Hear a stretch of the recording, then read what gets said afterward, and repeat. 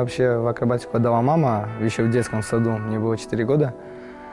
У меня просто очень было много энергии, даже когда был тихий час в садике, я не мог спать, я просто ходил в игровую комнату и там играл. Ну и после этого мама решила отдать, и через подругу узнала то, что есть акробатика спортивная, и вот отдала нас сюда. Сначала тренировки были по полтора часа, а потом даже этого было мало, и поэтому нас в среднюю группу перевели, где тренировки подольше. 13-14, где-то так. Каждый день. Я начал заниматься с четырех с половиной лет. Я сначала ходил на айкидо, вот, и для растяжки мне не хватало, меня отдали на акробатику. И потом мы хотели там на недельки две, чтобы шпагаты научился делать, и там затянулось в итоге. Вот. Сейчас вот чемпионат мира, который проходил в Швейцарии, в городе Женева, серебряные медали забрали. Второе место. Мы ездили на чемпионат мира, он был э, в Швейцарии, в Женеве. Вот, мы там заняли второе место. Ну, я был в шоке, потому что в паре занять на чемпионате мира второе место – это незабываемые эмоции, передаваемые ощущения. Радость была и гордость даже, так сказать. Ну, вообще там веселые, грустные. То, что когда услышали свое место в последний день, расстроились, но потом нормально там было. И там волнение, ну, очень много эмоций. Вот. Ну да, в Инстаграме подписывались, в газете, когда написали, бывало на улице подходит и спрашивает, не вы ли вас в газете печатали? Я такой, да, меня. Приятно? Ну да, приятно, ну непривычно еще. Иногда бывает то, что там узнают в магазинах, там, вот. Э, ну и так ничего особенного не произошло просто.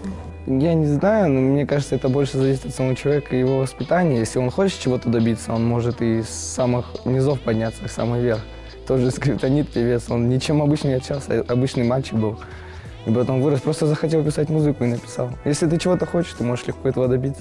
Ну, целеустремленные, там, тренера, родители. Если идет отдача от ребенка, то тренер там выкладывается на максимум, и э, родители, поддержка, это очень важна, ну, как по-моему, вот. И, ну, выкладываются все спортсмены на максимум, поэтому вот такие вот результаты. Популярно? Ну, очень много я вижу, когда там играют баскетбол, волейбол. Вот это вот. На улицах прям играют, вот в парке играют баскетбол, волейбол. И так. Так, в принципе, в основном, ну, это уже кто любит по- погулять, по это, спортом позаниматься. А так, мне кажется, сейчас большинство сильно много сидят дома в компьютерах. Ну, сейчас, э, ну, футбол популярен, Э, может быть, борьба, там, бокс. Ну, спортивная акробатика, там, как бы, она популярна, да, но мало кто захочет ходить, потому что, когда первоначальная стадия идет, там растяжка, и всем больно, вот, и они сразу уходят. Иногда тренера даже кричат, но это, типа, нормально, и все сразу начинают уходить. Ну, вот, но я остался. Мне кажется, больше окружение им надо увидеть. Все-таки окружение людей, оно все равно разное. Отношения вот, э, людей вообще к друг другу.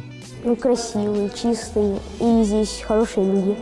Ну, здесь э, красиво, добрые люди, как я сказал. Э, ну, торговый центр у нас есть, строится. Ну, и есть где место погулять.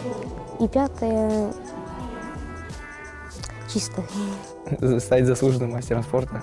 Семья, двое детей и то, что я хожу на работу, тренирую детей. Вожу их тоже разные.